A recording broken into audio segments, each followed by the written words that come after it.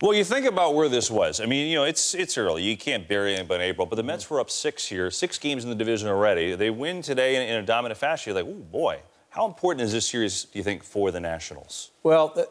You know, I'll get to that in a second, KB. I, I, I, think if you really want to explain what happened tonight, you have to you have to go back to a tweet that was sent out when the Mets were ahead six to one. It was by a national guy, and you know he said that the Mets are ready to make a statement. I think there we, it is. have that somewhere. There it is. There it is. I mean, that, ten, I, I, ten minutes after that happened, they fell apart. You know, I, mean, if I if I'm Callaway, I'm that in that, in that Mets clubhouse. You know, I'm, I'm saying. Hey, guys, this is what happened. This KB, what happened. I, I, tweeted, and that's that. You know, I, will tell you, it, for me, it's like you know, we talked about it in, in the meeting, and it this is an important series for the Mets. I think it's a more important series for the Mets just because they have an opportunity to really uh, assert themselves over the Nationals. Yeah. Like, is this start for real? Is it, we know that the Nationals are going to be good. They're not at full strength. They don't have Rendon playing right now. Murphy's been out. Murphy, Murphy, Daniel Murphy for me is is, is really the best hitter on that team. You can't, I'm not saying he's the most dangerous, but you can't pitch to that guy. You put him in the middle of the lineup, he makes everybody better. He's not in there right now. And, you know, eh, those sort of things, you're not going to get Strasburg or Scherzer this series. I felt like the Mets had to, they had to win two out of three, maybe even sweep the Nationals.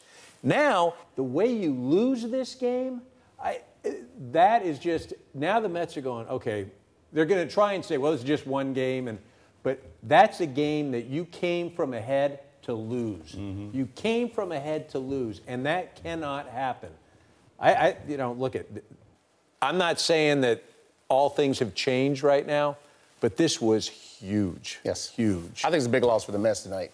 Uh, but I think it's a bigger series for the Nationals. Being six back this early in April, you, you, cannot get that far behind against a team that you know could be there if they stay healthy. So uh, for the Nationals, coming back tonight was huge. We thought it was over, and they showed a lot of life. And David Martinez is right. They needed that in that clubhouse because the confidence was building so high with the Mets now you see the same thing in the next yep. few days with the Nationals. All they need to do now is win two out of three, and they, they're, they're back getting their team ready where they need to be, and that's leading that division. They're going to have to do a lot of work. They're going to do a lot of catch up once they're healthy with Murphy getting back. Yeah, two more games in this series, but I mean, with the performance that DeGrom put forth tonight, oh man, with the tweet sent out by the host of the show, you got to win that game. KB, got to win that, that game. outstanding. Uh, listen, if you don't know I'm a jinx by now, now you figured it out. Without Josh Harrison, this is going to be a challenge, Frank. This is all-star atop the lineup. He's out a long time, month and a half. How do they respond? it, it's really bad for the Pirates because they played such inspired baseball in April. But Josh Harrison is the heart and soul of that of that clubhouse. Mm-hmm. Uh, losing him for an extended period of time, time after losing McCutchen this offseason, it's going to be tough on this team. This guy brings it every day. It's not hard to follow this guy. He plays with an excitement and energy that inspires the whole club.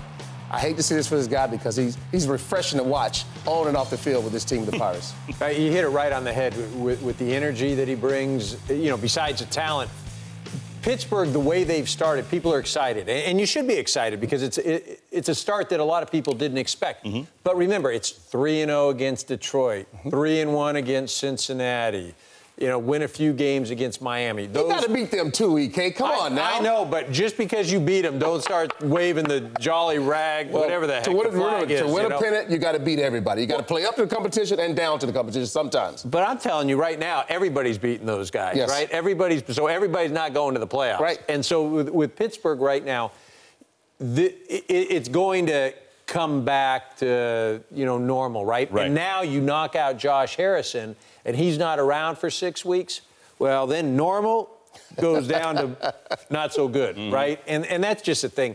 Look, it's a nice start, and they couldn't. They're not going to be able to hold this off. Right. They're just not. By the way, is the Jolly Rag related? Whatever to the Jolly, the Jolly Rancher. I don't even know well, what, what They raised the flag, right? Well, you honestly, though, that, this guy brings so much to that clubhouse Jolly Roger, day. Jolly Roger. He's been a leader in that clubhouse for years now. So I it, it, it's a problem when you lose a player like this, especially after losing an MVP yep. type player in McCutchen. Yeah, yeah, he and he's been a leader in that club. You're right for a long, long time. We'll see how they react, but it will not be easy uh, for those Pirates.